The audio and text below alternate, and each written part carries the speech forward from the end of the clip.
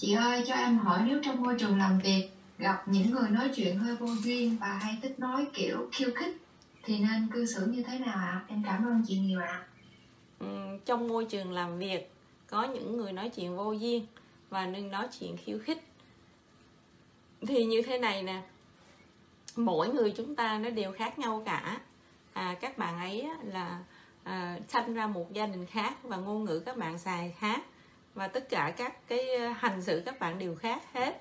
Cho nên á, mình không thể cái điều cái nguyên tắc đầu tiên á, là mình không bao giờ mình không bao giờ kiểm soát mà mình không bao giờ kêu người này làm cái này cái kia được người ta sẽ không nghe. À, cho nên á, người ta sao thì người ta vẫn như thế. Người ta sao vẫn như thế đó là việc của người ta. Còn việc của mình thì mình tôn trọng người ấy việc của mình mình vẫn hành xử như mình chính là mình. Mình lịch sự mình thì mình vẫn lịch sự. Mình dễ thương mình vẫn là dễ thương. Mình tôn trọng người khác thì mình vẫn tôn trọng người khác. Mình không có thay đổi cái khối hành xử của mình. Cái khối hành xử người ta mình cũng không cố gắng để làm gì. Như chị nói trong những cái like mà rất là sơ khai á, là về phát triển bản thân là đôi lúc bạn phải nhìn từ trên xuống một chút. Có nghĩa là có những người họ dưới level mình thật sự là như vậy họ không có học bằng ăn, học bằng mình, họ không được giáo dục tốt bằng mình, thì họ là sao là họ là thế thôi. Cho nên nhìn xuống và thấy tội nghiệp, nhìn xuống để thấu hiểu, nhìn xuống để thương cảm, nhìn xuống để không trách móc, thì đó là cái cách mà chị cũng hay áp dụng. Có nghĩa là ví dụ như bạn coi cái video clip đi, bạn thấy có những cái chị ở quê rất là tròn chỉnh, rất là mập nhưng mà các chị chưa bao giờ biết nhảy là gì. Thì lúc lên đó, các chị nhảy rất là kỳ cục. Nó gọi là kỳ quặc. Thì bạn nhìn vào những cái clip đó, bạn có thấy là cái người này nó kịch cỡm hay không? Hay là bạn lại nói cái người này thô bỉ? Hay là cái người này như thế này, như thế kia? Bạn không nói như vậy. Bạn phải hiểu cái người đó, người ta ở level đó, người ta ở cái mức độ đó là vậy thôi. Tại vì người ta biết, người ta không không nghĩ là người ta làm làm sai. Tại vì nếu mà người ta biết ăn học hơn người ta ra đường người ta đi đông đi tây người ta ra nước ngoài thì dĩ nhiên là về người ta không có những điệu nhảy như thế. Những điệu nhảy mà gọi là con bướm sinh như thế. À, thì mình phải thương cho những người đó. Mình phải thương cho những cái người đồng nghiệp mà họ suốt ngày họ tấn công như vậy. Tại vì họ không có không có hiểu. Họ không có hiểu và họ nghĩ họ đang làm đúng.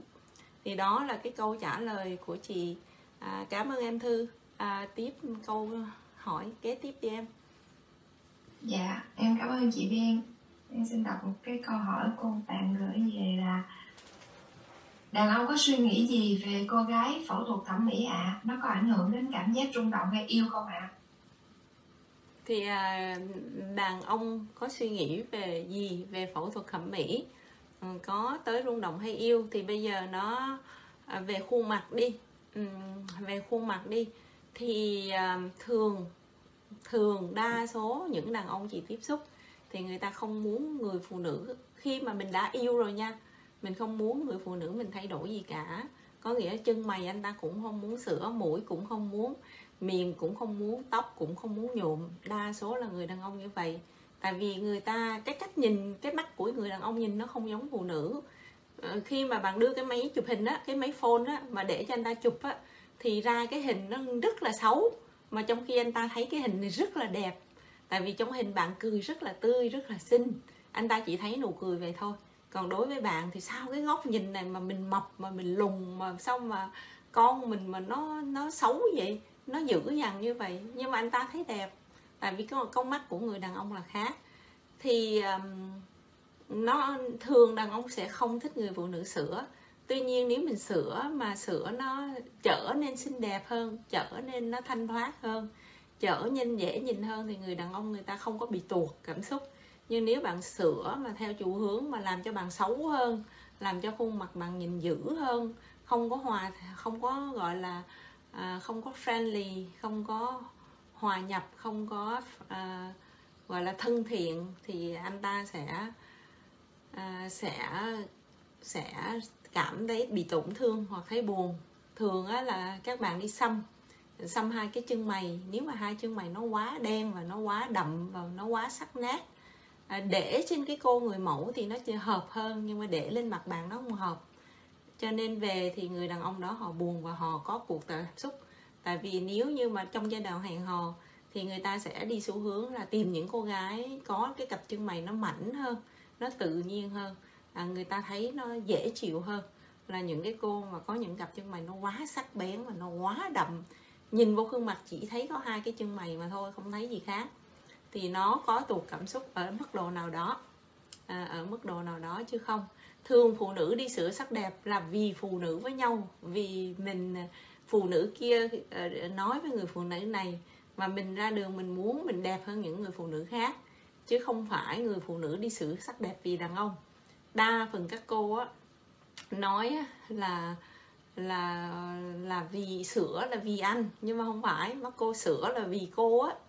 Vì cô và vì những người phụ nữ khác, chứ không phải là vì ông chồng đâu. Thường mấy cô hay nói dối, có nghĩa là không có dám đối diện sự thiệt, là em đẹp lên là vì anh. Em có thể đẹp hơn rất nhiều, nhưng mà không cần người phải đi sửa sắc đẹp. Em có thể chọn những cái bộ đồ của mình mà phối đồ hay là làm tóc hay là trang điểm hay make up là em đẹp hơn rất nhiều mà không cần phải đi sửa. À, thường á, là đi sửa thẩm mỹ nó có xu hướng là chạy theo à, thời trang hoặc là chạy theo phong trào. Khi mà bạn gần nhiều cái người mà sửa nhiều quá tự nhiên tới một ngày bạn nghe và bạn bị người ta thuyết phục là nên sửa đi.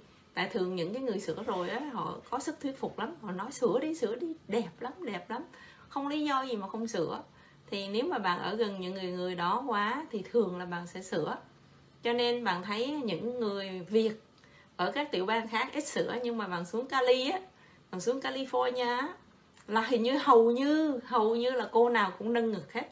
À, và mình ra ngoài ờ, mình đi một vòng ở bên San Diego à, bên à, bên Cali á thì mình ra mình đi ăn là hầu như cô nào cũng rất là nóng bỏng và hầu như cô nào cũng sửa mũi và hầu như cô nào cũng bấm bắt và hầu như cô nào cũng nâng, nâng ngực hết á.